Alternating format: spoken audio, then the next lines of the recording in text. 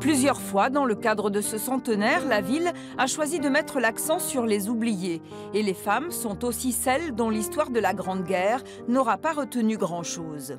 L'histoire étant plutôt écrite par les vainqueurs, en général, on a beaucoup parlé des hommes, des, chefs, euh, des soldats, des poilus, qui est encore peut-être pas forcément toujours euh, de, la, de la bonne façon, mais enfin les femmes, on avait l'impression que c'était quand même les grandes ignorées de la guerre.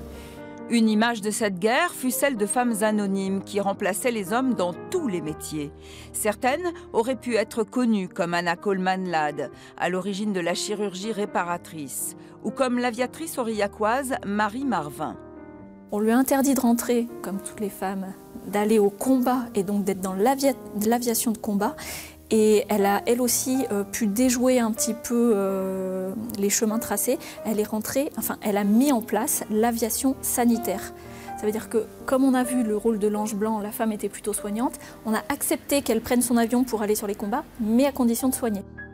À part quelques-unes comme Rosa Luxembourg ou Marie Curie, toutes ces femmes sont reparties dans l'oubli après-guerre et la société leur a de nouveau attribué un rôle plus rassurant pour l'époque.